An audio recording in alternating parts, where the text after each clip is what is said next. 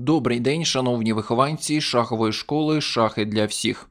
Сьогодні ми розглянемо дуже цікаву та динамічну партію відомої української шахістки міжнародного майстра Наталії Букси, яку вона зіграла в дев'ятому турі індивідуального чемпіонату Європи, що нещодавно закінчився в Словенії. Наталія Букса грала проти зовсім юного ще Матіаса Пальчерта, угорського майстра Фіде.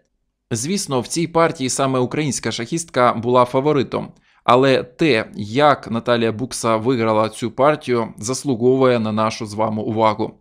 Отже, Е4 зіграла Букса, С5, сицилійський захист, кінь F3, Е6, Д4. Розмінялася на Д4, кінь С6, кінь С3. Ферзь С7 грають чорні, слон Е2, кінь F6. Це так звана система Тайманова. Слон Е3 грають білі. В цій позиції чорні найчастіше ставлять пішака на А6, не даючи білим зіграти кінь Б5 з нападом на ферзя, і після рокіровки грають слон Б4, загрожуючи розмінятися на С3 і забрати на Е4, як було в партії двох відомих українських гросмейстерів Арещенка та Зубова у Львові в 2014 році. Але в нашій партії угорський майстер зіграв слон Е7. Він економить темп на ході А6. Після F4 грає D6, ферзь D2, міняється на D4 і робить коротку рекіровку. Чорні першими розкрили свої плани. Відвівши короля на королівський фланг, вони дозволили суперниці, зробивши рокіровку на ферзовий фланг, розпочати атаку на королівському. Б6 грають чорні, Ж4. Наталія Букса починає агресивні дії проти чорного короля. В цій позиції заслуговував на увагу хід кінь G4, тимчасова жертва матеріалу після слон G4 є 5 подвійний удар. Ферзь відходить, забираємо на G4, і тут кінь D5 з нападом на ферзя. Далі тура D2, і незважаючи на те, що в цій позиції у білих пішаком менше, їхня позиційна перевага, яка базується передусім на міцному коні D5, має дуже суттєве значення.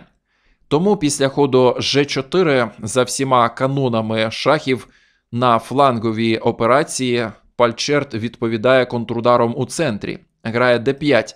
Але проблема чорних в тому, що білі не змушені забирати на D5. Вони закривають центральну частину шахівниці ходом Е5, ще й виграють темп, проганяючи коня. І тут Наталія Букса демонструє дуже ефективну перебудову своїх фігур. Вона спочатку ходом кінь Б5 нападає на ферзя суперника, а далі звільняє поле Д4 для свого коня. Тут він буде розташований найкращим чином. Після слон Б7 блокуємо пішака знову виграючи темп, і профілактичний хід король Б1. Тура Фд8 H4, продовжуючи насувати пішаки на чорного короля. Чорні просто не знають, що їм робити. Атака білих на королівському фланзі йде як по маслу. Кінь С5 намагається на Е4 поставити свого коня пальчерт, але після Ж5 кінь Е4 білий ферзь просто відходить на Е1. Слон С5 H5. Чорні намагаються розміном сильного коня якось збити атаку білих, але після слон d4, слон c6, слон g4 Наталія Букса придивляється до пішака Е6 і хоче зіграти G6. Тому захист пішака, ферзь 4, тура F8 і знову напад. Опинившись на G6, білий пішак зруйнує позицію чорних на королівському фланзі. Тому ще один захист пішака Е6, тура H2, слон С8, тура G1. Наталія Букса підводить останні резерви. Після Б5 ферзь Е3, нападаючи на пішака А7, А6 грають чорні, слон F3. У білих вже стратегічно виграна позиція. Чорні поля в таборі суперника дуже слабкі. Навіть на найкраще з боку чорних слон Б7 білі виграють матеріал, просто міняються на Е4 і ставлять слона на С5, забираючи туру. Але зовсім розгубившись, пальчерт ставить туру на d8 і потрапляє під удар слон b6. Після розміну на Е4, ферзь d7, у білих ще й матеріальна перевага, зайва якість. Треба бути уважним щодо удару ферзь d1.